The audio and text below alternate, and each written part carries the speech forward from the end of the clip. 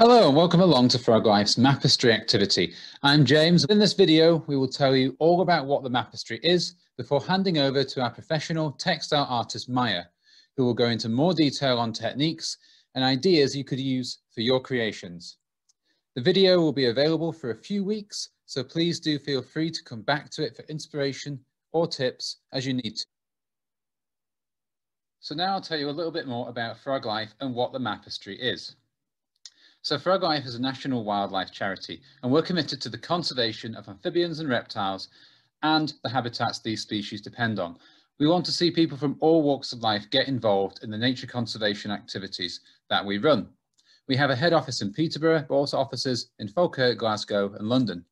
Froglife gets involved in a variety of different works from practical habitat works, creating and restoring ponds, education and public engagement for events and raising awareness, and also research. The project I work on alongside my colleagues is called the Come for Wildlife Project. This is a four-year project funded by the National Lottery Heritage Fund and supported by the NatureScot Biodiversity Challenge Fund and a range of co-funders. Now we work throughout the Forth Valley, so Falkirk, Stirling and Clackmannanshire, to develop connections to conserve and enhance the unique heritage the area offers. So we do this by raising awareness at wildlife gardening workshops, pond doctor events, and pop-up wildlife gardening workshops as well that you may have seen around Stirling, Falkirk and Clackmannanshire. Our arts and crafts mapestry sessions that you're going to be doing within this month, and also getting stuck in and creating new ponds and restoring ponds throughout neighbourhoods and within our habitat sites as well. So I'm going to tell you a little bit about the threats to amphibians and reptiles and what they may face in Scotland. So amphibians and reptiles in Scotland face many different threats. Development, whether it be housing, retail or otherwise, can cause ponds to be filled in and lost from the environment. Amphibians require ponds in which to breed and develop young, so they are vital for their survival. The loss of habitat can spread to our reptile species too, as areas of heathland, woodland and other habitat types are lost. Disease is a problem and we can easily spread this on our footwear, clothing and equipment from park to park and garden to garden by accident. Pollution from agricultural operations or from roads is an issue and with pollutants often finding their ways into ponds and creating poor water quality. Non-native species can compete with our native amphibian and reptiles for food, resources and habitat or may predate upon them directly. These can spread from the pet trade or stowaways and may be carriers to diseases from outside the UK as well. Climate change is a larger issue affecting our species. Native wildlife can adapt to a changing environment to some degree, but rapid change in the environment can lead to species decline. So here we'll tell you a little bit about the amphibians and reptiles that we can find in Scotland. You may have come across, across the common frog before. So we only have one species of frog in Scotland, which is native. They have smooth, moist skin, a dark patch behind the eye, and long striped back legs that allow them to jump quite considerable distances. We have two species of toad, the first of which is the common toad. You'll notice these have rough, bumpy, warty skin and shorter hind legs, so they'll tend to hop or crawl at best. They don't have a dark patch behind the eye, but do have a golden iris. The natterjack toad is a coastal species only found in the far south of Scotland. They again have rough, warty skin, as do all of our toads, but they also have a pale yellow stripe running down the centre of the back. Here we can see frog spawn and toad spawn, so our frog spawn in the top left and toad spawn laid in strings in the top right. And tadpoles look very similar between frogs and toads, but you'll notice that frog tadpoles have golden speckles, toad tadpoles being almost jet black. We have three species of newt as well, the most common of which is the palmate newt. They don't have any spots on the chin or the throat region most of the time, but for the males, you can notice in the two pictures to the left, the big black webbed feet and the tail filament at the end of the palmate newt. We do have smooth newts, especially in more urban areas. These can look very similar to the palmate newts, but they do have spots on their chin and throat regions. You'll note in the bottom left picture here is a male smooth newt with a crest that runs all the way down the body. The great crested newt is the largest newt species that we have and can measure up to 18 centimetres being up to double the size of a palmate newt or a smooth newt. The males have a jagged crest you can see in the centre photo there and a white stripe or flash on the back of the tail. They do have slightly rough warty skin but have a very orange yellow underside with black splodges.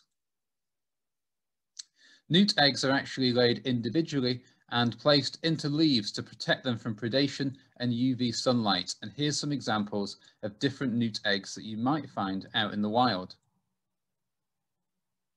For our reptiles, we have the common lizard. Now they measure about 15 centimeters from nose to tail, so they're not very big. They have scaly skin and are usually a brown color. They do move incredibly fast when they warm up in the sun. Another lizard that actually looks a lot like a snake is the slow worm, and this is a legless lizard. They have smooth glossy skin, not much of a neck region as you can see on the photo here, but they do have an eyelid and can blink, and no snakes can blink. They measure about up to 50 centimeters from nose to tail and tend to be a grey or brown colour. Onto our snakes, and the most common of which in Scotland is the adder. You'll notice the dark zigzag pattern that runs all the way down the back, and they have quite a stocky build, but just measuring about 60 to 80 centimeters. You can also see they have a red iris with a vertical pupil. The grass snake is only found in the far south of Scotland. This is the largest native snake that we have, measuring up to 1.5 meters long. They have dark bars along the bodies, and a round pupil and a creamy collar at the back of the neck and can be found hunting in rivers, ponds and lakes. Lesser known is also the leatherback turtle, and this is considered a native reptile of the UK, but you would never find, find them breeding in the UK as it's far too cold. This is the largest sea turtle in the world, measuring up to two meters long and up to 600 kilograms in weight, but they can be observed off almost any coast in Scotland if you're very lucky, feeding on jellyfish, which is their primary diet. If you do see any of these amphibians or reptiles, you can download our free Dragon Finder app on the Google Play Store or the App Store as well. Just search for Froglife and you can find the Dragon Finder app. It will help you to identify what you see and submitting the sightings really helps us focus our work at Froglife. So on to the mapestry then. So our mapestry sessions are arts and crafts sessions, and we want you guys to depict the local heritage of the Forth Valley and what's around you. And we're doing that by creating a series of map tapestries. And you can see some examples in the pictures here. We're doing one tapestry for each month of the year. And we want you guys to show us what heritage is to you. So this could be local landscapes, it could be buildings, it could be wildlife or attractions that you see on a daily basis. Whatever local heritage is to you. And you can use any means that you'd like. So you'll have the packs from us here, but you can draw or color cut and sew and stitch, whatever suits your level of kind of art and crafty level to create what local heritage is to you to go onto our panels. Once all 12 Mapestry panels have been finalised, our textile artists will have them all completed and then they're ready to go on tour. They'll be going around 17 venues in the Forth Valley area on a two-year tour and this will allow local people and communities across the region to see the Mapestry and the vision that you guys create. Once you're finished, there will be feedback sheets available when you drop off your excess equipment and materials. Please do try to fill one of, these, one of these out. They are required by our funders and helps to keep these sessions free. Some brief ideas for inspiration here might be things that you've seen lately that are local heritage to you, any wildlife, any local heritage and how it made you feel when you saw it, Think about what amphibians and reptiles are doing at this time of the year, any memories that you have of wildlife that you've encountered. I'll now hand over to our professional textile artist Maya, who'll give you some art and craft techniques and some further inspirational ideas. Hello, I'm Maya Nugren, a textile designer working with Froglife to make the Mapestry project a reality. Through the Mapestry project, we, that's myself, Froglife and you, the local communities, are creating 12 tapestries using simple textile techniques, celebrating a year in the life of wildlife and heritage in your local surroundings. The key character featuring through the 12 tapestries will be the great crested newt, whose life cycle through the year will lead us to discovering the rich variety of amphibians and reptiles that are at your doorstep and the environment that they live in. We would love you to participate in the making of these tapestries. We want these tapestries to represent the things that are important to you. Have you had a look around? What's happening in your local area right now? You might be inspired to grab a sketchbook and draw some of the surroundings that you see and then translate these into textiles or you could use the templates that have been provided in the materials kit. Although normally we would be running these workshops in person, we have managed to put together some resources for you to be able to participate in this project from where you are. So I have put together some videos that show some simple techniques using stitching and glue to create some textile pieces representing a variety of the wildlife that you may see around you.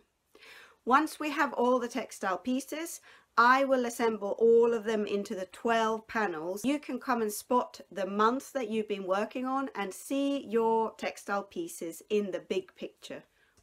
You may also want to use some of your own unwanted clothing.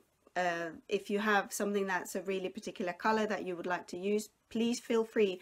But we would just like to ask you to wash these first before you use them. We are using second-hand fabric and textiles for this project to highlight the importance of reducing natural resources consumption and textile pollution and landfill waste. We realized that landfill waste has a direct impact on the welfare of the local environment and we want to do everything that we can to reduce this. We hope that this sounds inspiring and we are very much looking forward to seeing what you come up with. So I'm just going to go through a few things that have been made in the previous workshops and showing you what you could do. So you've got templates, um, you could create your own impressions of frogs or or toads. There's a couple of different versions of it. There's a hibernating newt and a great crested newt and a non-hibernating great crested newt. There was another newt there and that one that I showed you before. And here's a tiny little adder that someone has made and then these things that we made. I made earlier. So all these little pieces will build towards the bigger picture of the 12 panels for the mapestry and it will be great to see your interpretation of the beasties or the plants or even if it's some local building that really means something to you or, or your community community it would be great to get you could you could sketch out the building you could look at a photograph or you could go in situ and look at the actual building sketch them out and then use these same techniques to to build a textile version of those those those um, significant landmarks of your home surroundings enjoy it. I hope um, I hope it's been inspirational and um, and I'm really looking forward to seeing what kind of creative outputs you'll come up with. Thank you for watching.